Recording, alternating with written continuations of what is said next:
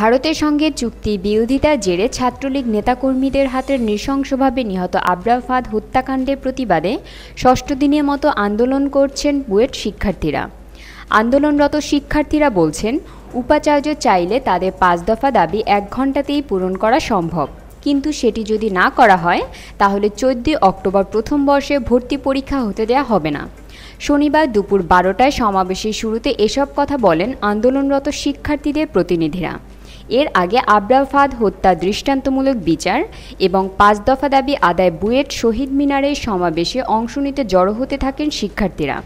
Ratna Jahan news desk channel three sixty five